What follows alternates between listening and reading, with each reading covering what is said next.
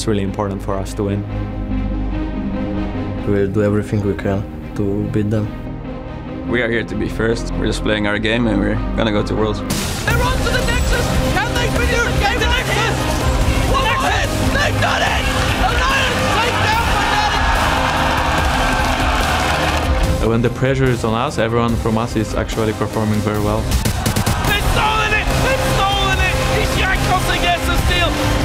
Now we just need to win one of the two BO5s and we are going to Worlds.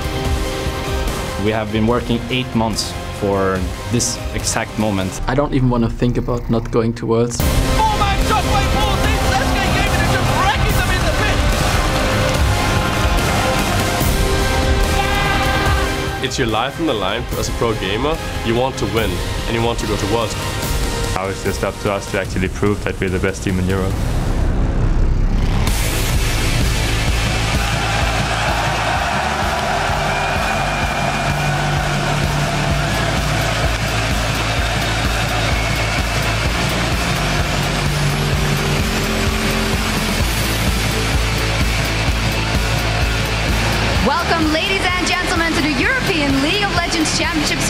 Summer Semi-Finals, coming to you live from Gamescom in Cologne, Germany. And at the end of the day, we will know two of the teams will be heading to Worlds to represent Europe. I'm Eefje Sjokz Depoortere, joined here by Leigh Deman Smith and Trevor Quickshot Henry. And today, Fnatic, Roccat, Alliance, and SK Gaming will battle it out on our stage. But first, let's take a look at yesterday's matches. We had the International Wildcard Final with Dark Passage emerging as the victor and grabbing a spot at Worlds. And well, guys, Dark Passage, just a little speed bump there at the very first game they played, but then a clean sweep and 3-0 in the final. Yeah, they dropped that first game to Legacy and did not look back from there on out. In the final, they absolutely demolished the Australian team. And Dark Passage definitely, definitely worked very hard towards their goals. Every single interview, every single video, the team is just saying they've spent the whole year focusing on the wildcard tournament. They've got the spot and we'll see what they can do on the international stage. Yeah, absolutely. And after that series, the Super Hot crew took fifth place in the summer split, and Millennium will head to the spring promotional tournament. And Millennium, sorry to say, but they didn't really show up, and Super Hot crew was very prepared coming into this one. But Millennium, they're on 11 game losing streak going in towards obviously the relegation for them. But Super Hot crew looked fantastic. They finally turned it around. They were disappointed. They said themselves, you know, sorry for not performing against Roccat. They did deliver, and we'll see how they go next year for them. Yeah, and the LCS summer playoffs continue today as we move into the semifinals with two best of five series. First, Fnatic will face Roccat, and immediately following that, Alliance will take on SK Gaming. Now, the two winning teams will play on Sunday for the right to call themselves the 2014 Summer Split champions, while the losers will duke it out on Saturday in a crucial battle for third place and a final spot at Worlds. So, the first game we have coming up here, Fnatic versus Roccat. In the season, Fnatic's up 7 to 1, but this is a whole different ballgame. It really is. Roccat looked fantastic in the quarterfinals. They really did deliver. They showed up. I think as a team, Roccat are their own worst enemies. If they are down on themselves, if they doubt their ability, they underperform. But if they bring some confidence to the table, if they bring some gusto, maybe led by Jankos, who knows, they could surprise Fnatic. Yeah, well, that is the problem, though. They are up against Fnatic. Fnatic, the three times reigning European champions, dominating the scene every single time they reach this stage. This is their stage right now, and they look really confident out of the back. Yeah, they do. And uh, of course, the next game coming up here today after that best of five series will be Alliance versus SK Gaming. Alliance closing out the regular season in the first place, and SK Gaming looked very dominant in the quarterfinals. They did. The problem for me SK only looked good in the last two weeks of the split. They really were shaky. It was two different teams, and SK would either smash or get smashed. I want to see what level they bring against Alliance because it's going to be tough. I feel like these teams have similar playstyles, but Alliance just edges them in individual player skill in each role. And the problem with SK is they're effectively mini Alliance. They are Alliance but lesser. That's how it's worked out this season. Of course, Alliance have 3-1 every single team this season. Remember, they beat SK inside 20 minutes. It was a 20-minute surrender. Fantastic stuff. And they are very confident coming into this. Alliance clear favourites to reach the final. There is just one thing to note. During Super Week, Week 11, SK did beat Alliance. SK also beat Fnatic. You can't discount the fact that both of the teams had locked their spots into the playoffs already. So whether that meant they weren't necessarily as focused, or whether that meant SK was good enough to beat them, we're going to find out later today. We will, and whatever happens, let's hope we get 10 games here today. All right, for more info, you can head over to lolesports.com, and while you're there, check out the schedule where you can vote on the team that you think will win each series. And now we want to hear from you. Head over to Twitter and tell us which European LCS semifinal team do you think would perform the best at Worlds and why? Difficult one. It, it really is a difficult one, and I think Alliance probably would be one of the better teams because I feel like they are very reliant on their own abilities, and if they are performing well, they can compete with the best. They've got great mechanical play, they have a good understanding of where the competitive scene is right now, so I'd say it's Alliance. Uh, honestly, between those two teams, Fnatic or Alliance, both have it in them to reach and go very, very far. Fnatic have already won it in Season 1, got third place in Season 3, can they best themselves again? But Alliance, you know, this is a super team. Froggen said at the very beginning, the moment they got knocked out of Gamescom, this was his plan.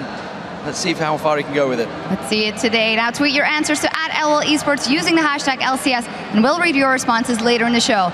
We're ready to go, so let's send it over to the desk to get things underway. Thank you very much, guys. I'm Joe Miller here with Martin Deficio Lynge as we begin the European LCS semi-finals. First up, the best of five series between Fnatic and Roccat. Now, Fnatic come into this game as the big favourites, having peaked really at the right time towards the end of the split, including a very solid 3-1 Super Week. Let's first take a look at the lineup. So starting in the top lane, as Soaz and Xaxus go head-to-head. -head. Yeah, and we have two of the most innovative and versatile top laners in Europe right here. They've both brought got multiple new champions in the top lane and are clearly not afraid to do it when it really matters. So if you do, and if we do look just at the, the split itself, then Soaz has looked a lot stronger, in my opinion, in the later stages where Xaxus had some issues, but he looked actually very good in the quarterfinals, so let's see what he can do. And then in the jungle, we have Cyanide versus Jankos, two very consistent junglers, and the interesting fact about this one is that Jankos currently has a higher kill participation than Cyanide, which just goes to show how important Jankos really is for ROCCAT as a team. He's pretty much the star player, to be honest. Onto the mid lane, a tough task awaits Overpow. He's the mid laner who gives up the highest amount of CS in lane to the opponent, and he's now facing a farm machine in Xpeke. Remember back to week 7 where the 300 CS record was set by Xpeke? That was against Overpow. And we might see the same happen again, unless Roccat can help him pressure Xpeke in this mid lane. It's Going to be an interesting one, and Overpow might bring out something special. We've seen it we time so. and time again from him. In the bottom lane, though, we have the AD carry role for these two teams, and there's a stark difference if you look at the stats.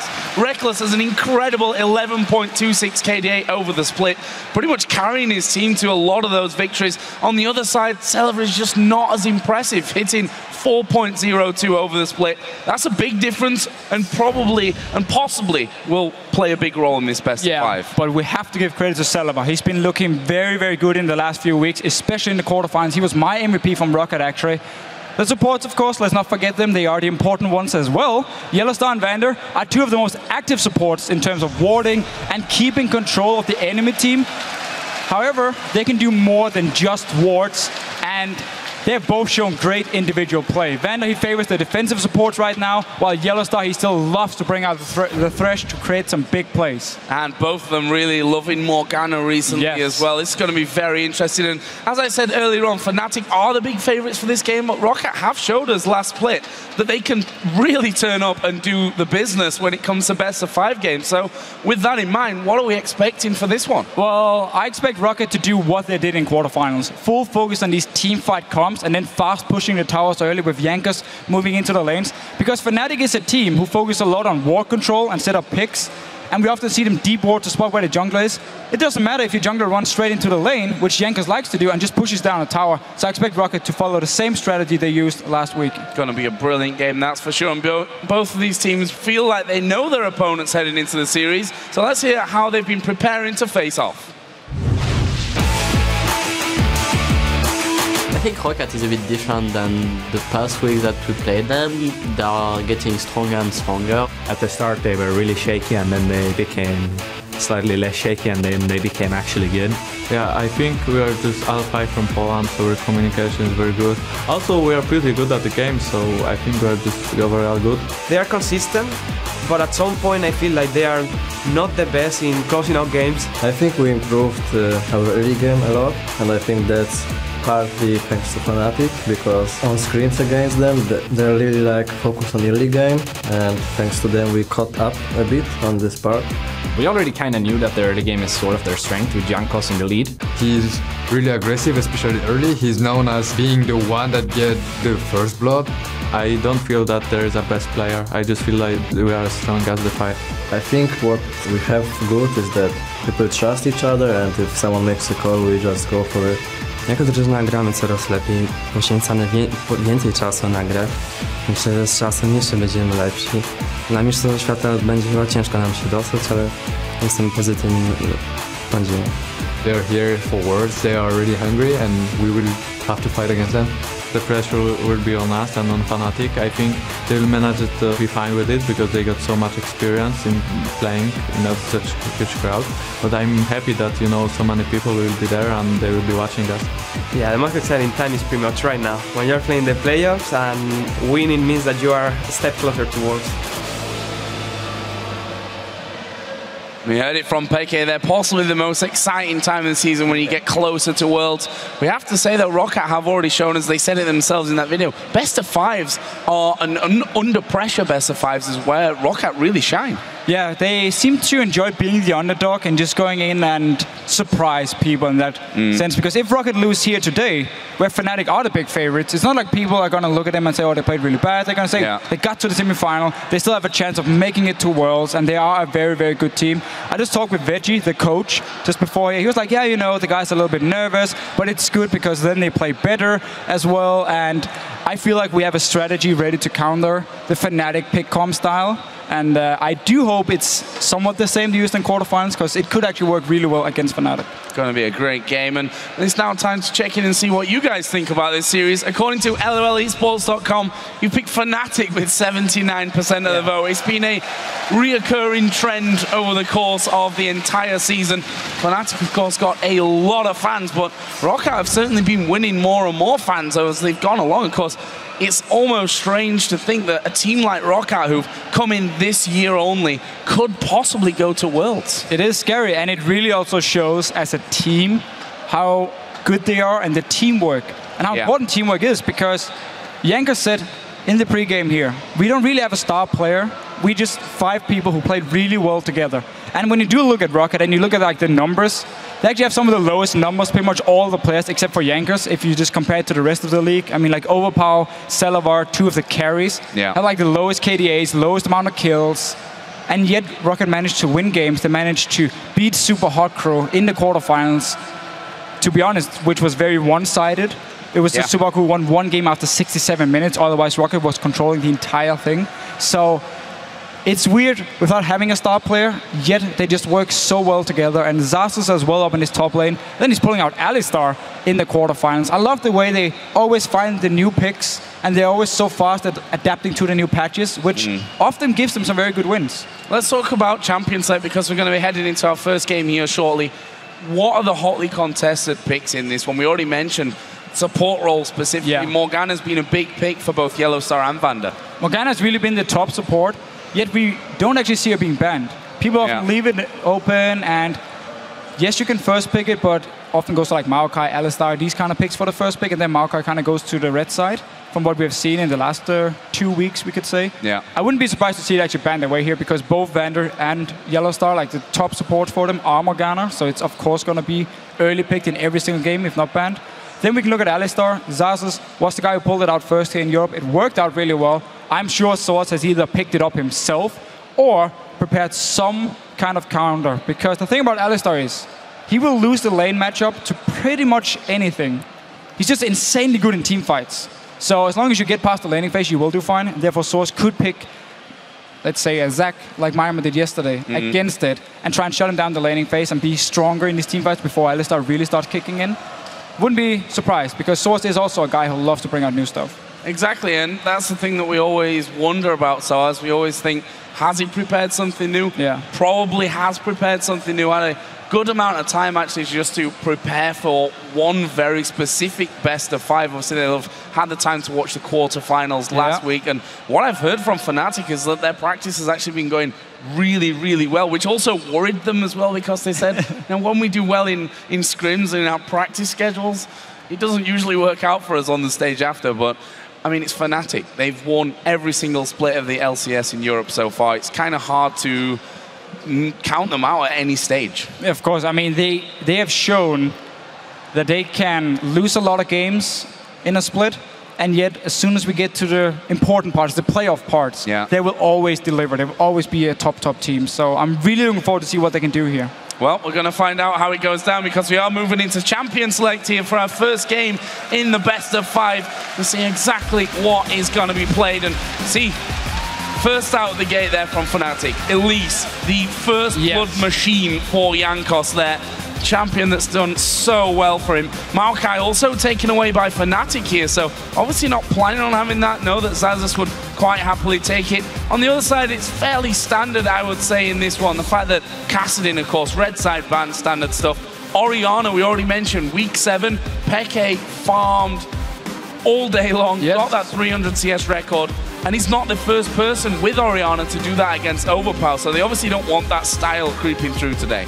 and it's it is a champion Roccat plays themselves, but they often actually end up banning it just because it is so strong in the laning phase, and Overpow is a very passive laner, so you don't want to have this farm machine champion who can just get completely out of hand, and that's not Morgana. What's going on here? Well, it's not Morgana, it's in fact Nami here as the first pick in for Fnatic, so wasn't expecting that, I have to say. Nami first pick, funnily enough, we saw that uh, yesterday, a first pick Nami, and you were like, wow, not seen a first pick Nami for a long time. that's funnily true. enough, first pick in the semi-finals. So that really shows to me Fnatic want to go for some strong laners here because Nami is one of the best, if not the best support in standard 2v2 lanes, where you could take a Morgana who could roam around instead if you want to do lane swap. So this really signals to me that Fnatic could be looking for some strong 2v2 and one-on-one laners here and simply just try and beat Roccat in the standard laning phase. The Elise ban I really like as well from Fnatic because that was the champion Jankos used to fast push these towers, which was the tactic I talked about Roccat could use against Fnatic, where you kind of dodge around the D boards because you just walk straight into the lane anyway and push the tower. Now being banned away, of course. Could also destroy Roccat's tactic just a little bit, but Kha'Zix is one of the junglers you can do it to uh, on, or you can also do it on because you have this long range poke. You can poke them out of the out of the lane, and then as soon as they go recall, you go and take the tower. So first pick then for Roccat, taking the AD carry, and Kha'Zix here by the looks of it for Jankos. And Kog'Maw was the the big champion really when it came to the quarter-final games for Celaver. Ended up with a 14 KDA with that champion. A good pick for him. Yeah, it was open the first two games against Supa Hot Crew. He picked it both games, and he just carried them. Then it was banned by Subaku the remaining time of the quarterfinals because they had to respect this pick here from Celaver. And Roccat as well is a team who's not afraid to early and blind pick the AD carry. They trust so much in Celaver and his laning phase, which is actually very strong. He's one of the best AD carries in terms of pure laning, of getting like the average CS at 10 minutes and also denying farm the- from the enemy AD carry. He's one of the best. Of course, there's also a lot of credit to Vander, who's a great support in the lane. But they're not afraid to early pick these AD carries here. On the other side for Fnatic, Cyanide, his old trusty champion, Jarvan, stole many a dragon and baron with Jarvan. And we also see Syndra coming through. Funnily enough, you aim three bans at Xpeke, and he still somehow gets on Syndra, which is one of his best. Yeah, and uh, Champion, we've seen him play four times in the LCS. Been some good performance, but also had some shaky ones. It's very hard in team fights to position yourself correctly on Syndra here. But once again, Fnatic follow the trend now. Strong laners. What is Syndra? She's a lane bully. She's supposed to win her lane matchup one-on-one here. So once again, Fnatic here, aggressive early jungler who can set up a lot of ganks, strong laners already, and the Jarvan is, is, of course a response also to Roccat early picking a, an AD carry with, without a jump because is your flash gone? Well, Jarvan is going to get to you and then Syndra is going to follow up and burst you down. Surprised here to see from Roccat Thresh rather than the Morgana pick in this. I mean, the Especially against Syndra, yeah. Especially against Syndra, you've got you can stop Jarvan, you can stop Bubbles. Is it all about the lane Yes, though? yes, it is. It is all about the lane here. Nami is a lane counter to Morgana. Therefore, Vander doesn't want to take the chance. Simple as it is. He wants to take a lane away, he can actually deal with the Nami. Yes, okay, you won't have the Black Shield now for Syndra, which would have been very good. Instead, though, you have a Zilean's ulti, which kind of works somewhat the same. Use it to protect your AD carry, and make sure he stays alive, or if he dies, comes back to life here. Still, Zillion in the laning phase against the Syndra will get outranged, which could be a big issue for him. And again, Overpow is an insanely passive laner. If you talk with the mid laners here in Europe, they often say he's very, he's actually just straight up easy to play against. And he often needs a lot of help from Jankos if he wants to win his lane matchup. So therefore, Fnatic can really set up to, uh, or Xpeke can set up to have a lot of pressure and dominate this mid lane. So then, final two picks for Fnatic. We'll be seeing Alistar coming out for Soaz in the top lane. A final pick, which honestly I didn't expect him to go that far down the picks before being taken, but Soaz happily get his hands on that one and Twitch for Rekkles. Another scary champion for him. Yeah, and Fnatic really, really going, or not even going back, just sticking to the same style we have seen pretty much all season long. A lot of pick potential here. You have the burst, single target burst from a Syndra. You have the bubble from Nami. Alistar, of course, to CC people as well. Then Twitch just sneaking around here, finding people out of position. So, so much pick potential from Fnatic. And even a decent team fight because you have Peel from Nami and the Alistar to make sure Rekkles and Xpeke can stay safe in these fights here. Twitch Nami is a fine lane, but Twitch is not one of the best laners, so we could potentially see Fnatic swap around. Also because Alistar is so good in a lane swap, and Nidalee, on the other hand, won't be able to bully her one-on-one lane. If you lane swap on her, she will you will delay her Trinity Force as well, which is very important for her to reach if she really wants to become this split pushing machine.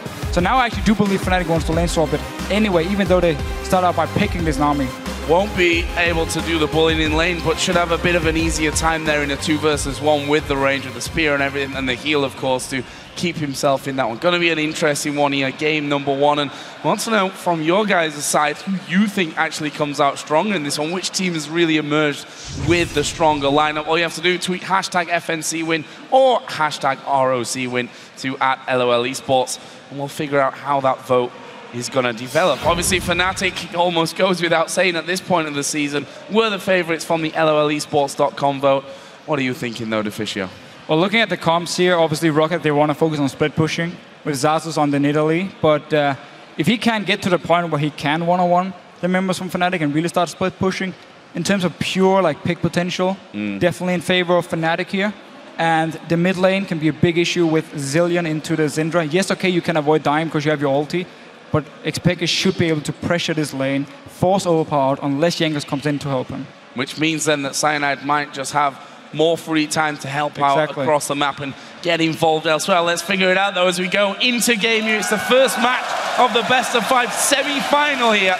A winner, of course, will secure a spot at the 2014 World Championships. The loser will drop into the third place playoff, which will be happening tomorrow where the third and final spot then will be up for grabs. Gonna be a fun match to watch, and we'll see whose preparation really brings them out on top of this one. See there Soaz on your screen playing the Alistar. We already know that Soaz is a man who pretty much can pull out and will pull out anything when you're least expecting it. Zazaso going in for a Nidalee. And if we think back to the Nidalees that we've seen so far, just this week at Gamescom even, yeah. There's been some scary Nidalees. She is so, so strong if she gets the one-on-one -on -one lane. Like, she's supposed to win pretty much every single matchup in the early game. She doesn't have the same level 6 power spike she used to have because you don't instantly get your Cougar form. Like, you have it from the start now, which means at level 6 you won't get it and hit the power spike we saw from the old Nidalee. But she's just all around so good in one-on-one. -on -one. Once she picks up Trinity Force and some tank items, maybe even a blade, she just becomes this split-pushing monster that's that is very hard to deal with, especially also for an Alistar. Still, we do see boots coming in from uh, from Soaz, so looking to roam around, I guess. Oh, oh Yellow Star! Oh, gonna get flayed back from this one. The first bomb will come down. That's a good bubble onto Zilean. Can they keep going with this one? Yellow Star falling low, but he's able to just walk away from that one. Didn't use his flash or his exhaust yeah. there. That is keeping it very, very cool from Yellow Star here. A lot of players will just instantly a flash. flash. Yeah. He popped the bubble, hit two members, and he just ran to safety. So no flash used. And we do also see now, look at Rekkles moving on your mini-map, going towards the top side. But Roccat, they're expecting this one, so they're going to swap to the top side as well. So we will get the one-on-one -on -one now in the bottom lane. Nidalee versus Alistar, and Rocket as well, invading in onto this blue. Might be too late, however. Coming in from the side here is Jankos. Actually walks in there a little bit too slow on that Cyanide. Will be able to smite that one away. And Jankos putting a lot of pressure in early there. And this is not good for Soaz here. Fnatic actually forced now to send Yellowstone Rekkles back to this bottom lane because there's boots on Soaz, so he's not very strong in the lane, doesn't give him any combat stats, and at the same time, he would have been so delayed at getting to the lane here. Xaxus is already there, picking up some farm. So Fnatic now swapping back to this bottom lane. Rekkles joining in now. If Xaxus actually started pushing the lane, Rekkles should be able to freeze it. Doesn't seem like he pushed it too hard. Therefore, we'll actually push up towards Xaxus now, and he should be able to get some XP. We're happy with that one. We'll see exactly what Soaz does. For now, it's a bit of a buddy system going on. We can actually see Fnatic looking to secure a third buff, moving in towards Roccat's blue. That's already been started off there by Yellow Star and Jankos down at half HP, just doing his red. Means that he's not going to have a blue for the start. Yeah, that's a big deal here because Roccat was so late in the invade onto the blue buff. Fnatic can now deny him his own buff and also set him behind. And when you do want to beat Roccat, Jankos is often the guy you want to target and shut down early on so he doesn't have the impact we normally see from him. Getting two blue buffs at level 1 is a good start. Especially also because it means it's going to be even harder for Jankos to just sit and farm the jungle. He won't really have the mana to do it while Cyanide can get his level 3 on this red buff here. And instantly Jankos is like, okay, well, I'm done jungling. I'm just going to go top lane now, start pushing it, because down this oh. bottom lane, it's being pushed as well. He just got turret aggro there as well. That definitely wasn't planned in from Roccat. Took two hits from it, went a little bit too low. That means that he might be forced to start backing away. In fact, he has already backed away towards the brush to recall, so not an ideal start for him here. However, Roccat doing some good damage onto this top outer turret. And down this bottom lane, Rekkles and Yellow Star pushed it into the tower as well. Took good uh, 25% of it. And now looking to freeze the lane. So they basically just wanted to take the wave, bounce it into the tower because it was already pushing towards Xaxus. So they bounced it into the tower, reset the wave, build it up a little bit, and now it's pushing towards them. And Rekkles can freeze it if he wants to. Soaz and Sana just trying the classic uh, Alistar gank at level 2 in this mid lane. Again, again, one of the reasons for the boots, So Soaz could roam around here in the early game. And they're still sitting around. There's Flash and Overpow, and he's staying very far back. Remember the long range from Peke, though. Oh. They're stun! Oh, stun coming in. There is a flag and dragon. They're going to try and go through. Headbutt pulverized combo comes down, and first blood will land with Xpeke. Brilliantly done, and that's the danger. Even if Alistar's shut down out of the lane, he's got boots and he's roaming. Yes, sir, and he's one of the best top enders, if not the best, at roaming around early game and setting out these ganks here. Just remember a few years ago where Alistar Jungle was a thing and you always had to expect the level 2 gank, you always had to be afraid. And Overpow was staying pretty close to his tower, but he got hit by the stun, long range stun from Xpeke and ends up dying. Tower going down though in favor of Roccat, so that initial, we talked about it earlier, the fact that they have in recent times gone for these earlier tower pushes, try and get themselves a little bit ahead on that front. That's certainly working their way so far, but first blood for Xpeke means real problems for Overpow in the middle lane. Chalice going to be in there. He's got boots now as well as a few wards. See Fnatic with the amount of wards, if you look down the items that they've got, there's a lot of wards there. Is it going to be a possible early dragon? Fnatic is the kings of wards. They will always get deep wards in, find out where your jungler is, which simply means Xpeke and Soaz can then run around on the map and do whatever they want. Same goes for Rekkles on Twitch now, because they know where everyone from Roccat is. And it's just what Fnatic always does. They put so much focus on buying all these wards here. We just see once again Xpeke with their range advantage, poking onto Overpow, who's actually been farming okay in the lane. He did die, fell even further behind. And we do see now all here. Five members from Fnatic down on the bottom side of the map. They're really setting up for this dragon. Silva's in the top lane, so it's going to be a dragon for Fnatic here. Um, yeah, AD carry nowhere near that one. Four men from Roccat will come down, though, towards the dragon area, so it may still look to put up some kind of fight for it, but it would be a five versus four if they decided to get involved with this one. There is a trap down, which they're just making sure that they can try and get around there. Ward in the tribush as Fnatic are hoping to maybe catch someone out. Meanwhile, Peke and Overpow once again in that mid lane. And look at that. Ulti comes out from Peke. It leaves Overpow with nothing. Crucially, doesn't pat, uh, pop the ultimate, which would have actually given Overpow more health back if he'd have come back in. There's a hook onto the minions, though, trying to defend that turret. But again, Peke just dominating this middle lane. So because Celaver is freezing the top lane, Fnatic doesn't have to instantly rush the Dragon. They know they have time to push down this tower first with the four members. There's not enough members from Roccat to actually defend it, again, because Celaver is just sitting up in his top lane and freezing it, so he's not going anywhere for the next few minutes. So Fnatic takes their time, get a tower, then they can go Dragon. Overpow doesn't have ulti now for the next fight, and Xaxus is going to be a lot weaker than an Alistar in a straight-up team fight at this point. He's also slightly behind, actually, in terms of XP. Speaking of XP, Xpeke in the mid lane, 66 to 46 ahead, 20 CS and the kill there. Almost dropping the ultimate of Overpower, certainly forcing him to use it, but not quite finishing off. And there's a flash from Vander, not wanting to be involved there. That's a good hook fight, though. They managed to pull in Soaz, not level 6 yet, which means he's going to go down. Vander will get the kill. That was all a little bit disjointed from Fnatic. So, while Fnatic did delay the Dragon, this actually means they're not going to start it at all now.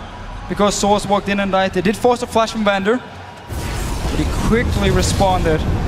And an easy kill on Soaz, who only had boots. So, still a very squishy cow before he gets his ulti here. So while they did get the bot tower from Fnatic side, they didn't actually take the Dragon. They should have just gone for it with five members. No ulti and overpower. Xaxus was only level 4 decided to play it very, very safe and actually end up being too aggressive and die. So, blue buffs then. What's going to happen with that one? Actually, I think the camp was still alive there, if I'm not mistaken. They actually went in for it and had to kill it off. Obviously, at level one, Jankos did force them away from it. We'll see how that one all develops. Blue buff did go over to overpower, at least for now over on Roccat's side of things. But look at this, they're going to go in once again. There's a stun coming down. Rekkles appears out of the stealth, and that's oh, all the damage again. His ulti gets popped. Question is now if they can lock him down. The bubble after the flash from Yellowstar. Amazing. So much focus on overpower here. His flash is up in just a few seconds. And this is also what you can do when you have a Twitch. You can just sneak around and stuff. You had this lane swap, the bottom tower is already dead. He's coming from base. Long range stun once again. Overpower gets stunned, killed by Rekkles. Oh, sorry, not killed by Rekkles actually, but died, and now Fnatic starting the Dragon. Starting to take a lot of damage from it. There's four members from Roccat coming in. They want to fight. This is actually really, really dangerous. Peke going low. Behind Stone. Jankos coming in. Manages to get the kill on Peke. Yellowstar might go down as well. It's a double for Jankos. Can they get any more here? Soaz is actually trying to bully them away from it. Ulti running, flash away from the spear. Well, Jankos still moving forward on this. And they get two for nothing and force Fnatic away from Dragon. Might not be over yet. Soaz going to get jumped on. He has to flash. So right here, four members from Roccat managed to not only stop Fnatic from doing the Dragon, they even killed two members. Sanad was very low tanking it, and also Xpeke was standing outside the Dragon Pit. He was the first target they jumped onto. And this was also because Celaver had actually joined in. He wasn't there earlier if they had done the Dragon. Now he was part of the fight. Let's see if Rekkles wants to pick up some more kills. He's all alone though. The cow is not much help when he's down to 40% HP. No ulti already used at the start of that one, and that leaves Roccat with a decent lead at this point. 1,300 gold in their favor. Of course, mid lane having a few problems, which is scary stuff because Peke is obviously going to get to a strong point a lot quicker here than what Overpower can match. Currently working towards that Athene's Unholy Grail, so not exactly uh, gone really massive and just gone, okay, I'm going DFG first, and we might as well really get this party started.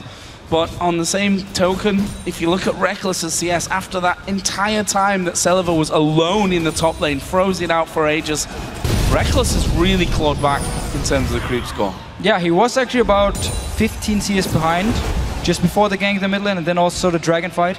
After the fight, Celaver went back to base while Rekkles just walked down to this bottom lane and picked up some farms. So managed to almost even it out. Celaver, however, is sitting there in the lane now. Gonna pick up a lot of minions, so he's gonna retake his quite big goal lead, or CS lead, early on here. And also after Dragon, so uh, looking very good for Celaver once again, who has really shown he is an AD carry, who has stepped up, improved, and can now really carry the games. Also why Roccat loves to build these comps around him, where you take something like a Zilean, and you simply use him to protect Celaver in these fights. Not like they were having a go for a red buff steal there, but Jankos had already been around, took himself that away before Fnatic could actually get in there. And they've put a lot of focus on these buffs as well, we have to say, at the early stages. Of course, the blue buff steal from level 1, or maybe level 2, but very early on in the game, which stopped Jankos getting a hold of that one. However, Jankos is still 2-0-1, still yeah. ahead in CS as well. So that Kha'Zix could be getting a little bit scary for them. Meanwhile, though, we are seeing Rekkles and Yellow Star push out the top lane. Celaver will be joined here by Vander, and they're going to try and take down the bottom outer tower. And Jankos as well, joining to this bottom lane, like we always see from Jankos when he plays these junglers where he can push out the waves, where he can join in to take the towers. He will do it early on. He was part of the top lane, now he's part of the bottom lane dying as well. And it's also one of the reasons he always picks up so much farm, because he takes a lot of lane farm which hopefully is very good for him. And he's actually going to keep pushing down here. Cyanide and Xpeke moving down towards this bottom lane. Overpower joining from mid lane as well. Or going back to farm actually. Roccat's still staying. They want to keep pushing this tower. And why not? Look at the line of wards that they've got basically from the blue buff. They've gone pink ward there, pink ward there, and three wards all the way through the jungle. Means that they can actually see if anyone does come down from that middle of the map to try and stop them pushing on this turret. They've already got a few auto attacks off on it as well, and there's another minion wave coming. And always one of their weak points about an Alistar is you can't really clear your wave. I mean, you can be...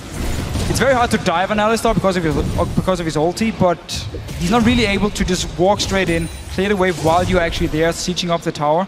So we saw him and Cyanide both stay back and just wait for the minions to dive from the tower and try and last hit them, which meant Roccat at least got a little bit of damage on it the very small siege down here. Rekkles was sneaking around this top lane, looking for Xaxus. There's no blade just yet for Twitch. Once he gets the blade, we can really start seeing Rekkles try and make some plays. No blade for him, but there is a Trinity Force on the other side for Celaver already. Obviously maintaining his CS lead, but that's been fluctuating and staying rather close in these last few minutes. Top lane, there is a big advantage for Nidalee. You should probably expect, considering the fact that Soaz was roaming for these good five, six minutes maybe right at the very start, also helping them secure that first blood. But that's 58 to 36 CS. Phage in there first for Xaxus, so Trinity Force for him. And also see that a Sheen coming out for Soaz. Yeah, and Soaz also also lost a lot of farm down his bottom lane because Roccat was True. taking the first tower and pushing into the second one, where we just talked about how Soaz can't really go in and last hit the minions. He has to just stay back under his own tower, which means Xaxus up in his top lane could just sit and pick up some farm and then wait for the massive wave and oh, Soaz might be in trouble. Oh, actually, you know, well, this is the cow underneath the tower, yeah, and they might just get the headbutt back. Soaz, despite his ultimate on, getting rid of 70% of the damage that was done to him. He still falls to less than half HP. Vander went incredibly low from everything, the minions and all of that. And the tower hits as well. It was causing him a few problems, but they're going to keep pushing on this one. Now that Cyanide's there, I think that might be a signal to retreat somewhat here for Vander. Dangerously low. But we really have to give a lot of credit to Roccat and all the wards in the jungle of Fnatic here, so they can safely just keep pushing this bottom lane, keep denying farm from Soaz on this Alistar, and get some damage on the tower every single time. Because they have all these wards, they can see whoever is moving, unless it's like Rekkles moving from the base in stealth. That's what the thing they have to worry about. Otherwise, they can see every single member from Fnatic moving around. See, they just spotted Cyanide. Every single bush he went into, there was a ward. Okay, he just warded Dragon. He's moving up here. Even more wards from Roccat to spot everything going on here. So been very safe. Celo have been picking up quite some farm down this bottom side. Same can be said about Rekkles up in the top side, however. And that's the funny thing from Fnatic, a team that you expect to have good wards down, having very little on the map. Obviously, that trying to change that one. We just saw Cyanide come in to ward a little bit. Yellow Star is actually on his way up there as well. So he's going to be utilizing that Sightstone. Got a pink ward in as well, and we'll be scanning out just to make sure that they maintain some kind of control, especially around this dragon area, because that's just spawned in. Jankos not there, though. He will be able to join very soon. Rick is sneaking in here. Red buff, maybe want to pop an ulti from Opal. Not this time around. He's staying too far back to too close to his own tower. The rest of Roccat is still around this dragon here, but Fnatic now taking control, clearing the pink wards. And the pink wards from Roccat actually still on their members. They haven't placed them just yet. So now they've actually lost the control around the river. Fnatic looking to land some poke. Roccat though basically just forcing their way into that river area. So as of course is in top lane, teleport available for him.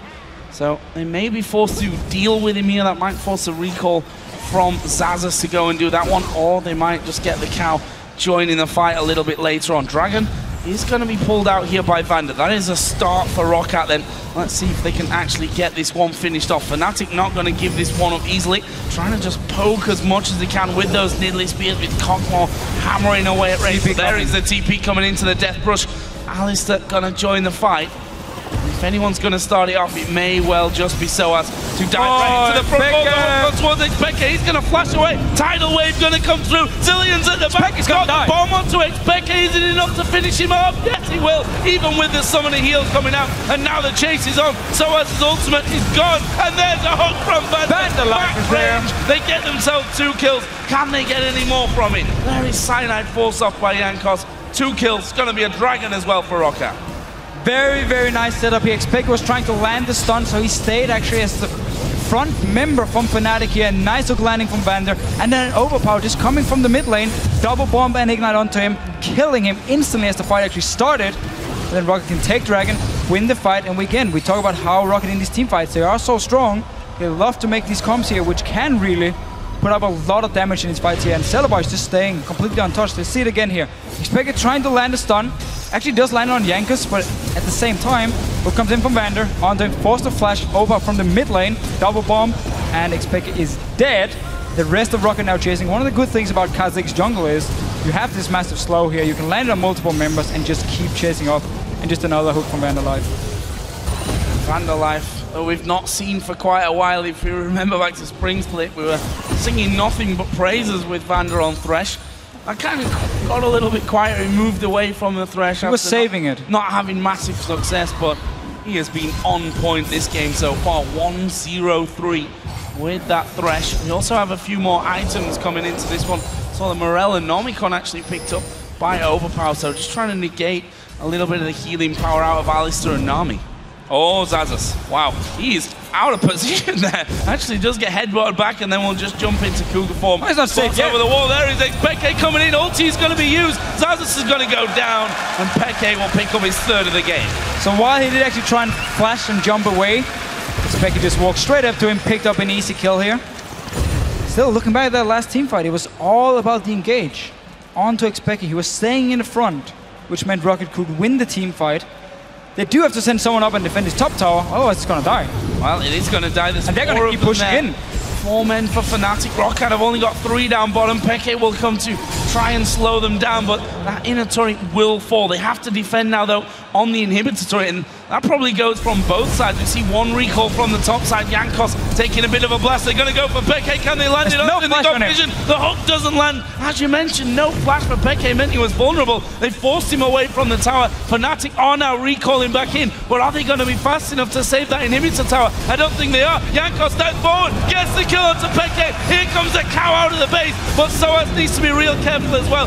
Has to pop his ultimate. Flayed back though, and there's a lot of CC coming in. There's the hook. The box goes down. Meanwhile, Xaxus has to use the ulti there out of overpower. One more hit will kill off uh, Soaz, and Rekkles is being bombed as well. Xaxus going to dive forward. Where's the spear? Flashed away from. That will leave Yellow Star open as he throws down his tidal, a tidal wave. And two kills coming in. It might not be over just yet. And a great Cyanide inhibitor here. Having to go away, and the inhibitor What is is taken going down on? by Roccat. Wow. Fnatic just standing there one by one, dying. They Lost the towers, lost the inhibitor. Yellowstar is top lane here. He might go down as well. Exhausting the Just slow say. Rekkles, yeah. No, they're still chasing. Oh, no. You got the Zilean speed. again. Gets away from the spear. The bubble will force Xaxus to turn around and, well, Roccat, a team that, let's be honest, have not impressed us for a lot of this split with decision making, especially later on in the game. They really stuck to their guns. They'd obviously made a call there, stuck to it, yeah. executed it brilliant. So they simply made the call saying we don't care about the four members in top lane because we have Xaxus respawning and we have overpower there, so we have two members to try and stop it, while Fnatic only had Syndra down this bottom lane to try and stop the push. And because there's no flash and expect used in the last team fight and there was no ulti either, Jankos felt like he could just jump him instantly, got him low, second time around they jumped him again, killed him this time, got the tower, Soaz joined in all alone, ended up dying, and inhibitor went down, overall, just very, very good call by Roccat here. Even though it looked like they were going to lose a base race, played it very cool and said, you know what, we can take this one. If there's only one member here, we can jump him, we can kill him. And we're going to win this base race here. So inhibitor down. And now instantly you see Roccat moving in towards this bounty and oh, Cyanide, you might be dead. Hook onto Cyanide. He's going to actually slide Oh, away. But coming. how far is he going to go? Overpass speeding in. Cyanide actually flashed there just to get that extra distance away from the bombs. Xaxus, meanwhile, has been pushing this top lane out, and Fnatic need to hurry up and try and defend this one. Rekkles is just having a bit of a walk inside of mid. There is Soaz diving in. He's going to pop his ultimate, but again, they just hook him up. Ulti being forced out. Celaver gets hit by the bubble, but there's no follow through there from Fnatic. And with Alistar's ulti down now, that is an opportunity for Roccat. Yeah, and whenever Fnatic decides to engage, they never seem to target Celaver. He has Trinity Force in play completed already, and he's the guy you want to kill. Now they will target him. Uh, Where's the Lantern? Well, Roccat have left him all alone, but there is a lantern. And Vander pulls him to safety. Gonna say calculated there outer Roccat. Vander knew he could keep his AD carry alive. Meanwhile, Overpower just finishing off that outer turret in the mid lane. And look at that, straight onto the inner one. Peke at half HP. Overpower starts to sting now with that Morellonomicon with the Archangel staff in there. Those bombs definitely do a lot of damage. And the super minions, let's not forget, with that bottom inhibitor, already hammering away on the Nexus turrets 23 minutes in.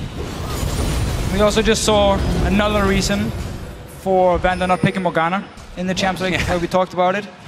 Having the Lantern against a Jarvan when he jumps your AD carry or whatever member without a jump from Roccat is just so good.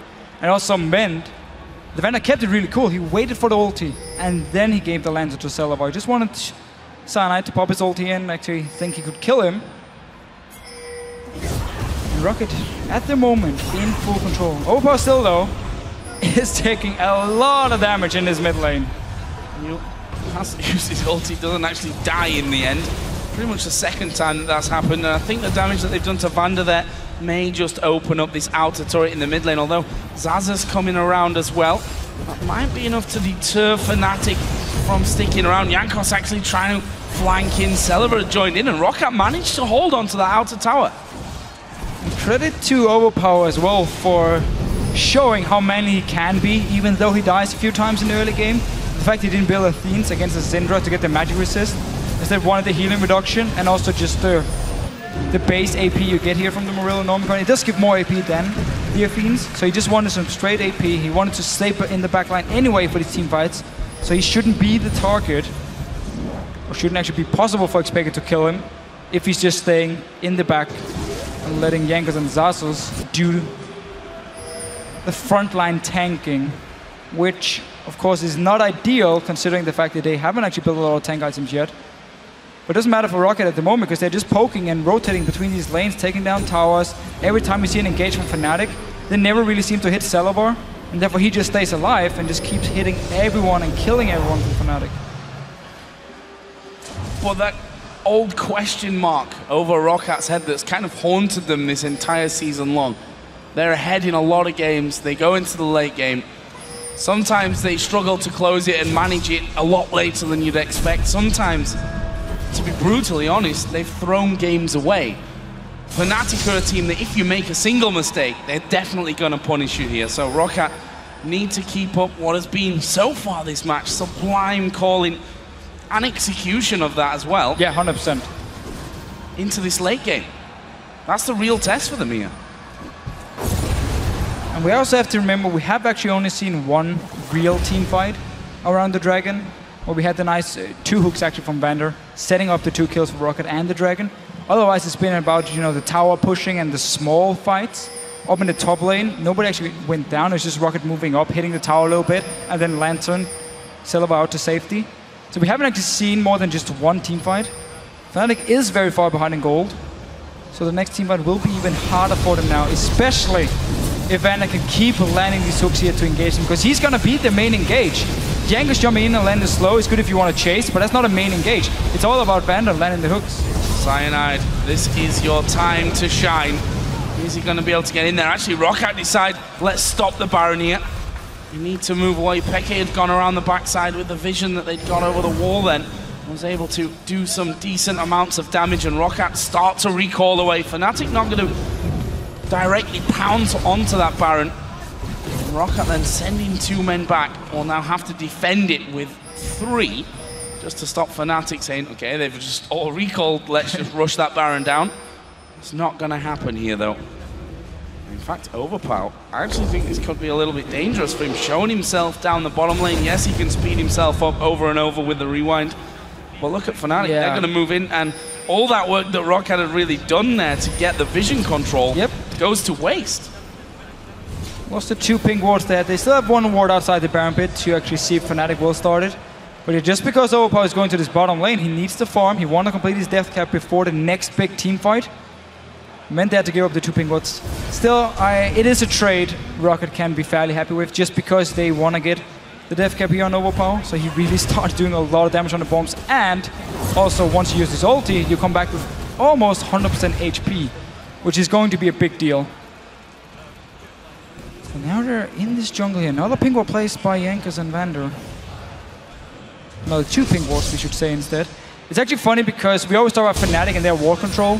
Jankos and Vander are the support and the jungler who places the most wards in the LCS if we count the quarterfinals games, where they of course have four more games than, than Yellowstar had and, and Sanad had to place the wards. But those two together put so much focus as well on getting all these wards down and pretty much the entire game, they have just been one step ahead of Fnatic by putting down all these wards in the jungle so they could push these side lanes safely and always get some damage on them and also take the right trades.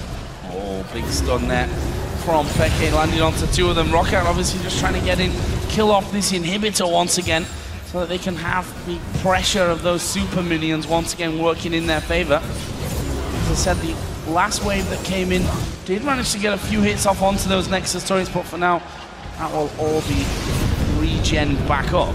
But it's more of the pressure from you have to send someone back to defend against those super minions, which then means you can either push top lane, obviously Baron as well becomes a lot easier. Overpower there, getting stunned up and actually used his ultimate, so that is now down. And you can see with that Roccat decide, no, it's too risky now. Yeah, this is uh, this was enough for Fnatic to force Roccat back. They didn't actually have to kill Overpower, just force his ulti, so he couldn't use it on himself or Celaver in a potential team fight.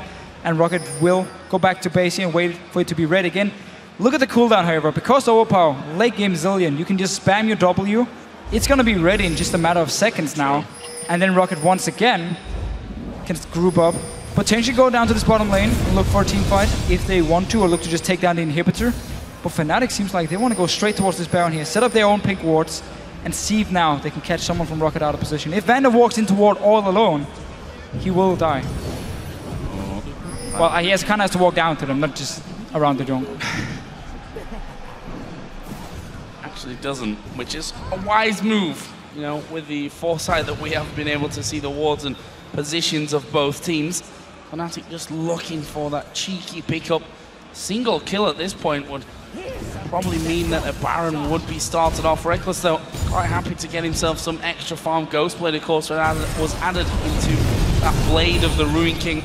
Also, a lot of uh, magic resist coming in here as well for Fnatic, picking up those Negatron cloaks. And there is Jankos. I'm not sure he specifically wanted to take that blue buff there. I think that was meant for Overpower. Well, actually, I don't think so, because Overpower at the moment is sitting on 40% cooldown reduction. He has enough mana regen because he has his Tia and Morellonomicon. And Jankos wants to be the guy. Oh, Vander. So I did actually say Vander walks around alone. Yeah, so that happened just a little bit later than we thought. Now let's see what Fnatic have got planned from this one. Support is down. Big element of CC from that Roccat combination. Jankos coming in behind here though. Xpeke is a little bit exposed. Oh, Spears coming around Jankos. He's going to go forward. Go for Let's Lemons go that one to Overpow. Overpow uses his ultimate on himself, but he's already in trouble. Great bubble onto two men at the back. There is Celaver. Focus. Finished off as well. Fnatic pick up the kill. And that is two men down now. What are they going to do? Looks like they might try and push this middle lane out. The stuns of Peke will keep Roccat busy from the side. Jankos just trying to poke them down with Nidalee Spears as well. But that looks like it's going to be the inner turret at least here for Fnatic. I do see Vander coming back into the game. So Fnatic here, do they turn and burn for base? Or do they think about Baron? Oh, Joe, don't call me Joe Miller Miller. You did say if you make one mistake against Fnatic, they will punish you. Xpeke was standing in the mid lane, so I'm not sure if Roccat expected the remaining members of Fnatic to be on Baron. Now they might be in trouble again. There's still only four members. Oh, yeah, Overpower did manage to get his ultimate rewind in there as Rekkles is going to get pulled in. Jankos over on the backside trying to go for Soaz. The bomb will be enough. Rekkles gets bombed as well. Can they get any more? Jankos steps away from the bubble. Xaxus's trying to get in. Can Van der Leyen? Oh, he does! Max range onto Peke. Peke's down. Yellowstar's going to fall here to Jankos. And now Cyanide sliding in to try and help out the support and maybe get away from the chasing team. But I don't think he's going to. Another Okay. from Vander. Okay. And that is four men down for Fnatic. Fair enough then, if you do have Vander playing like an absolute god, landing every single hook, you can take the 4v5. This time around there was no ulti for Soaz, so once he actually went in, he dropped very low, he died from the bomb as well, and Roccat could take the fight. Four members against the five from Fnatic, who had used a lot of ultis, had to be said, from the last fight, but still, that was also just the chase potential of a Kha'Zix, and then when you have Vander landing all these hooks here, they could pick up the kills, pick up the Baron as well.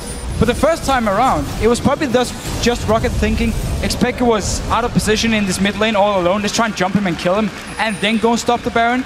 And then they face check five people. Lost a member, Celaver went down for it. But damn, they did just show.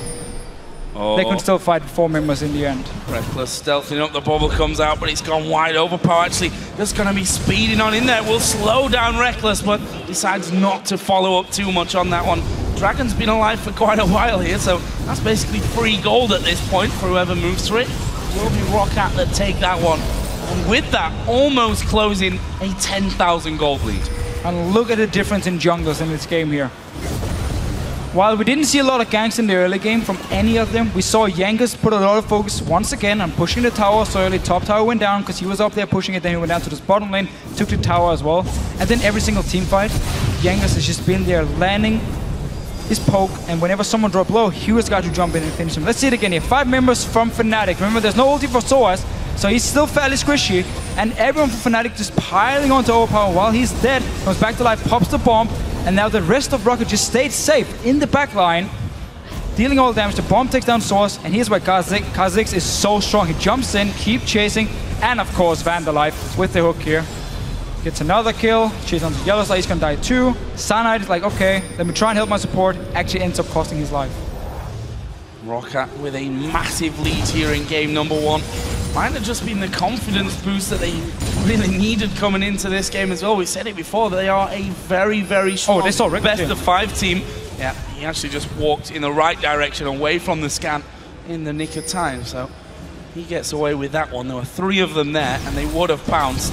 And the way that Vander's been playing, you'd probably say the chance of him landing a hook there were pretty damn high as well.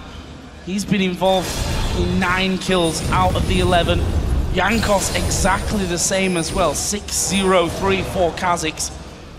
Scary stuff for Fnatic. Are they going to fall 1-0 behind? They're actually setting up a trap here for Roccat. Oh, what a Fnatic Gonna walk straight into it. Can they get the stun off? No, didn't quite have the range there. It was aimed at Celaver, but he was able to walk back. And Roccat now pushing up. We have seen him be in this position before here where they push onto this inhibitor, and then Overpower had to pop his ulti, and then the rest of Roccat just stepped away. He didn't want to risk any potential team fight where someone could have just been blown up by Xpeke or Rekkles. Now they're in the position again. Not feeling confident enough at the moment. I'm still waiting probably for Xaxus to push his mid lane before they move in. Look at Rekkles, he's sneaking onto Xaxus. He's going to be able to kill him. There he is coming out of stealth. Xaxus Oh, starting to missed jump the bomb. away. Overpower coming in. There is a tidal wave. Xaxus actually super low. Will actually be in a little bit of trouble here, possibly. Overpower flashing away as well. Didn't want to get picked up by the cow. And Xaxus will survive. Didn't need Overpower's ultimate in the end. So Roccat they were waiting for Xaxus to put it, push the mid lane in, and at the same time they didn't really have any control of where Rekkles was sneaking around this Twitch. So they played it safe until he actually jumped Xaxus in the mid lane, and instantly Overpower was there with the ulti to make sure if he actually went down, he would be safe. A good response here by Fnatic against the Baron up team. So what you can do when you have the Blade and Ghost Blade Twitch. Because for those few seconds where the Ghost Blade is active, you can do a lot of damage. See what comes out next for him. He has on a pickaxe and a Negatron cloak. So, do you go more damage? Do you try and get a little bit more safety? Safety uh, first, in my opinion. It's not for Rekkles, apparently, and who am I to argue with him? BF sword being picked up. Well, the fact is, when Vander can hook you somehow through That's about true. three other teammates that are trying to protect you, bit of safety would never hurt. But if you do look at the comment from Roccat, they don't have anyone really diving onto AD carry. Again, Kha'Zix, he could do it before the changes to his ulti, where he, no longer has the damage reduction, so he can just dive in. Celaver in a bit of a risky situation here. Feeling confident though, because Opa has his ulti ready, and the lantern from Vander, but still, Roccat is more about just like constantly poking and like kite, kite, kite, poke, poke, poke, and then whenever Soaz's ulti is gone, they can kill him or kill Cyanide, and then they will chase on towards Rekkles. So he's still feeling fairly safe in the back line. He didn't die yet, even though we've had a few team fights. So can't really blame him. And they are gonna need the damage, because at the moment it takes a lot of time for Fnatic to take down the members. Soaz doesn't do a lot of damage at this point. He's not the guy to just solo down someone in a team fight, like burst them down. Cyanide, of course, Java and Jungle, the same deal for him. So it's all about Xpeke and Rekkles in these fights here. And if they don't have enough damage, we've seen what happens. Roccat will out-sustain him in the fights, simply due to the ulti from Overpow and the fact they can keep kiting and landing the slow, landing the poke, and then re-engage when they feel like now they have the advantage.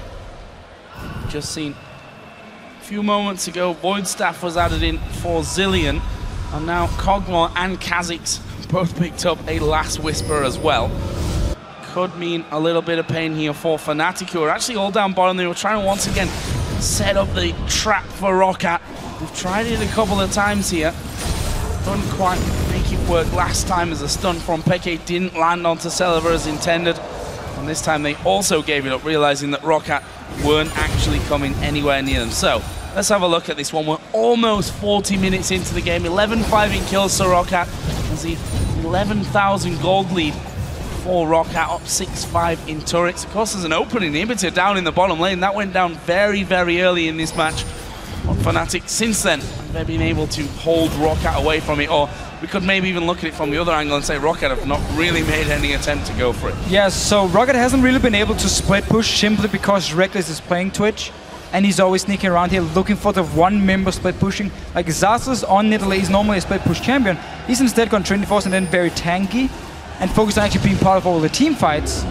So we haven't really seen Roccat go into the split push mode simply because of the Twitch pick from Fnatic and the pick potential they still do have even though they are behind.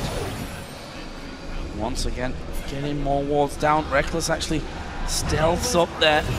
Looked like he was thinking about going for a little bit of a peek in the enemy jungle, see what he could find. In the end, decides against it for now. Jankos took a bit of a blast. There's another dragon spawning in here, so why not take that one away?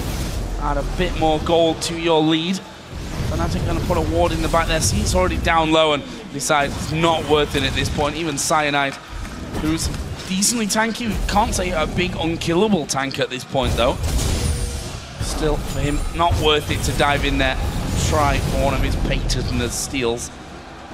And he went Stone as well, so uh, giving up a lot of potential tank stats by investing gold into getting more wards, but it, it is their Cyanide and Fnatic style, where you do want to invest in a lot of wards, but same goes for Roccat on the other side, and their ward control has been great in this game. With full credit to Jankos and Vander. And we just have to say also they made the better decisions, to be honest. They were there to punish Fnatic when they did the first Dragon. Pick up two, uh, first of all, pick up a kill on Soaz, and then pick up two kills in the teamfight after, and Vander oh. was looking for the hook here. Gets sped up there by Zilean, trying to get in onto Peke, but not quite this time around. Falling a little bit low there and deciding to start the recall off. So Vander is going to go back. Celaver has also recalled here as well. So two men out of the equation for now, but Fnatic will be moving in simply for a bit of ward placement, try and get some control back over that Baron because losing a second Baron here to Roccat could possibly be enough to tip the game over. Yeah, but right now, Roccat is uh, being too passive, to be honest. They keep... Roccat? I know, but they keep putting up wards to the Baron, and then as soon as Fnatic move in towards the Baron, they just run away from it, and end up giving all the vision control back to Fnatic, and then they have to go in and do the exact same again, which just buys more and more time for Fnatic to actually sit and farm and wait for the right opportunity to potentially get a pick. Roccat does have a very good late game comp because they can protect Celaver so well with their Zilean, but Zilean will lose a lot of damage. Same goes for the Nidalee pick in terms of, uh, well actually Nidalee, if she actually gets onto you with her with her Q and Cougar form, she will do a lot of damage, but it's a bit hard to do in a straight up team fight. So in that case, Roccat is giving a lot of time to Fnatic here to try and come back in the game. Remember, the further into the game we go, the less the goal lead means. I mean, once you hit the five, six, six items on all your carries, it doesn't matter if you're 10, 15,000 gold behind.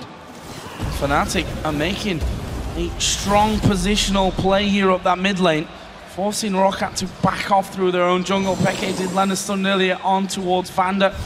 Cyanide actually stepped forward, but then stepped back once again as he realized he might not be able to get in there. Soaz is actually recalling, so that would leave five versus four here. Obviously, he does have teleport though, so can come straight back into this one. There's a stun on towards Vander. Bubba will follow as well. Are they going to pile in? Cyanide actually having to jump away, and Jankos going right into the middle of the team. Switches targets. Reckless and Peke are going to be who he goes for. There's the ulti out of Overpow to bring him back to life.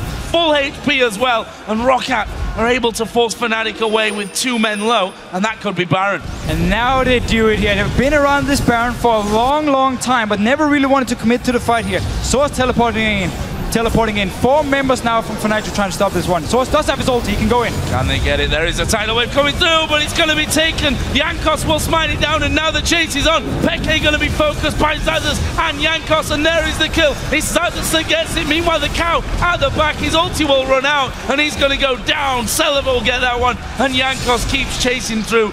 Cyanide will be able to back away, but it's almost minute-long spawn times here for Soaz and Peke. This is Roccat's time to shine. Yeah, instantly just moving to this bottom lane here. They want to take it while the two members are dead. Opa, however, will get jumped on. Oh, knock, knock, Just around. Rekkles actually trying to get in there for that. There's a TP from Xaxus to come back in. Yellowstar falling low. Can they finish him off? Jankos dives in. It's overpowered. Gets the kill. Rekkles will fall as well. And in the back line, Cyanide dies. And that right here is surely game number one for Roccat. No one left up in the game. 20 seconds until both Peke and Soaz actually respawn here. And Roccat going to go straight onto the Nexus turrets and pick up game number one here in the semi-final. We said it before, Fnatic were the big favourites. Can the underdogs do it? At least game one, Roccat once again shows how good they are in best out of five and preparing for these games here. Early pick Celaver's AD carry. Once again, they trust in him to do well no matter what AD carry he's against. And then you just see the Zilean being locked in from Overpow to protect Celaver and also to give some more chase potential once they're locked in Nidalee and Kha'Zix who are both able to just chase in these team fights. If you poke someone down, Nidalee and Kha'Zix can just run after you and they will catch you. And we saw it in these fights here. They got them low, Fnatic tried to run away, got chased or ran down, ended up dying, gave dragons, gave towers, and the decision making from Roccat in this game here was just better than Fnatic's. Early on, Fnatic could have gone for the dragon, five members with Celaver sitting in the top lane. They Yeah. didn't do it. They waited for Celaver to run all the way down, be part of the big fight, and then four members from Roccat actually stopped the dragon and killed two members from Fnatic. And then, of course, we have to mention the base race. We could almost call it a base race because Fnatic was four members in top lane Yeah. pushing. It looked good for Fnatic in the start, but then there was two members from Roccat to defend it, and the four, or sorry, the three members for Roccat pushing down his bottom lane. And then Fnatic ran in like one member at a time. Peke died, and Soaz died, and Cyanide almost died, and they ended up losing two towers and inhibitor because they just ran it like one by one by one. And all of a sudden, Roccat were like five, six thousand gold ahead and just kept the lead. I want to talk about Vander here because he had an amazing performance. He scored by the end 1 1 11. All the ones for Vander. Maybe wants to be number one here in playoffs from that result. But he hit ridiculous hooks. Yes. His lanterns were on point two, three, four, five times in that game to mostly save Celaver. We saw it in the top lane where they just chase him down inside the Cataclysm and you're thinking, oh no, what's he going to do? Lantern comes over the top of the wall and he takes him out safety. Vander was brilliant in that game. It is really scary to consider the 11 assists, like five, six, maybe even seven of them one was from hooks, which actually gave kills to Roccat. It was not, it was not just like throwing down the lantern in a team fighter, flay one guy. Like it was actually max range, hooks onto Fnatic, get the kill here. Really impressive stuff. And for on Fnatic side, the Alistar pick didn't really pay off. They did get the first blood, where it was Soaz and Cyanide coming into the mid lane, killing Overpow. But otherwise, the Alistar did nothing in the game. Cyanide and Jarvan had no impact at all. Every single team fight he would go in and be forced to just flash away and run. Like every single team fight. So Rekkles and Xpeke were kind of left in the backline alone. And we also have to highlight the fact that Syndra is a very hard mid laner to play in team fights because, again, you are very immobile and you kind of want to land your stun as a potential engage, and it was what happened to Xpeke when he got hooked. Ended up dying at the Dragon, gave the first goal lead to uh, to Roccat here. So full credit to Roccat. They played it fantastic, good wards, good uh, decision making, and uh, deserved to win. Well, the underdogs 1-0 up in the best of five and just need two more games, and they'll be our first European representative at Worlds. Still a long way to go, though. For now, we're going to go over to Sjokz at the analyst desk for a breakdown of that win. Thank you very much, Joe. Whew. What a game coming in here. Roccat looking as strong as it did actually throughout the entire quarterfinals. Let's break down the picks and bans. Fnatic going for a Nami first pick, putting on so much on that champion, but it was the support Thresh on the other side that paid out dividends for Roccat. Yeah, it really was. The difference in supports was day and night. The very first ban from Fnatic was also the Elise targeting that at Jankos, and he picks up Kha'Zix in the first round of picks from Roccat, and he just delivers once again. Jankos is far and away the hard carry for Roccat, and until Fnatic figure out how to deal with him and contain him, they're going to have a difficult time. I think most of the picks were fairly standard. We're not too surprised by what was locked in, but just how Roccat played was fantastic. But you got to think, right at the start, it was Fnatic that got the edge. They got in, got the blue steel in there. It all worked out well for them, but it just it slipped away. And it was all about this early Baron fight. We're about to get uh, Dragon fight. Sorry, we're about to get to because simply put, Fnatic were at odds with themselves right from the start. Yeah, that was. They nervous. Yeah, absolutely. That was when they got a small advantage. They actually had positional advantage at Dragon. Let's actually get that up on the screen. In all normal circumstances, they take this down. Yeah, but I think, you know, for Fnatic, they had a nice grouping. Let's roll this clip out, actually, and take a look at the fact that Soaz is not with the team. So this is a 4v3 for the time being, and you're going to be seeing Jankos coming in from the sidelines. Vander landed so many impressive hooks, and despite Fnatic chaining their CC quite effectively, they just simply did not kill the damage threats. You see Nidalee hanging out in the sidelines, throwing out those spears. Celaver, despite going very, very low, does not get taken out. And while all of the focus was on trying to get those two members down, Jankos comes in, cleans house, picks up a couple of kills. Roccat actually rolled back around, picked up the Dragon, and from there on out, they did establish control. Yeah, solid, solid start by Roccat.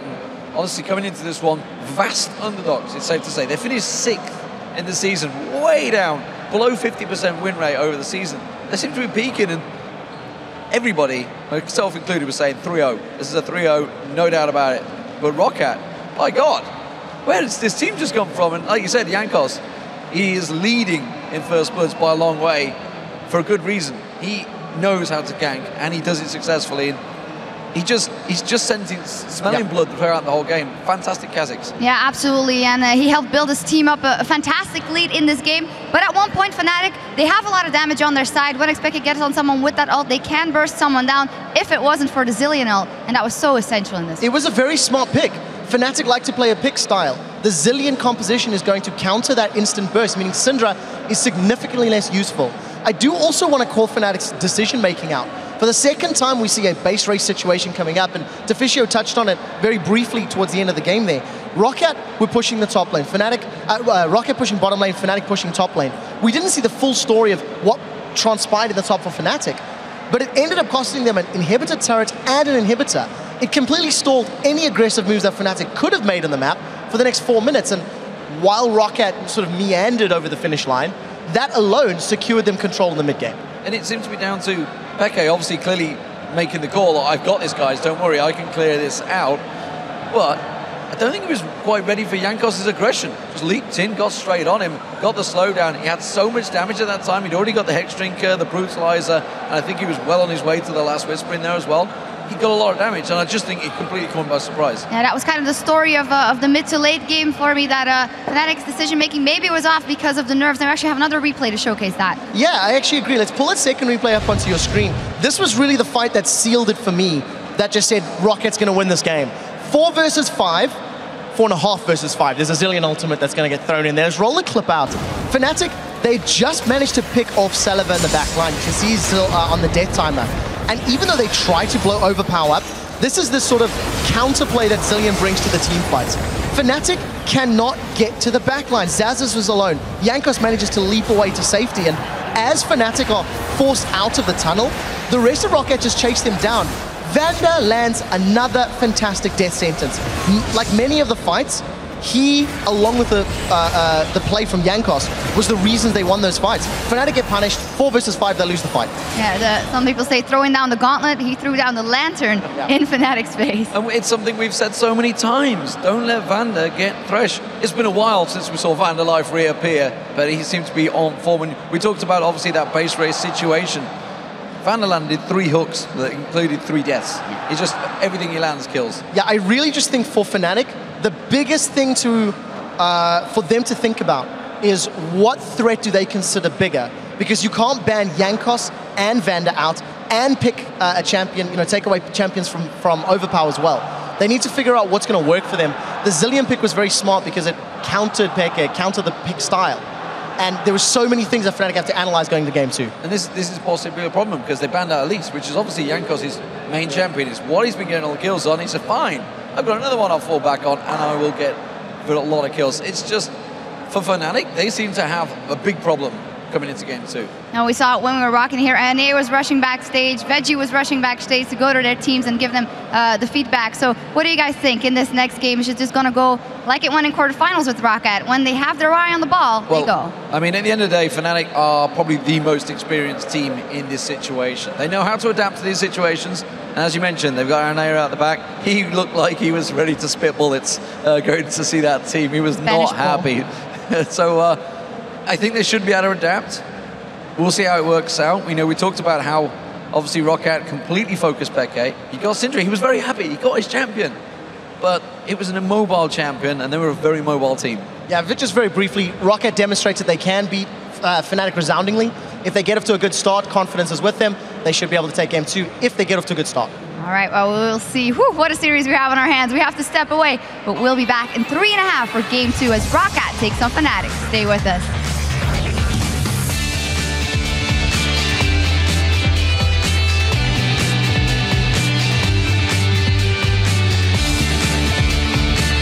They're stunned. Oh, stun coming in. There is a flag and dragon. They're going to try and go through. Headbutt pulverized combo comes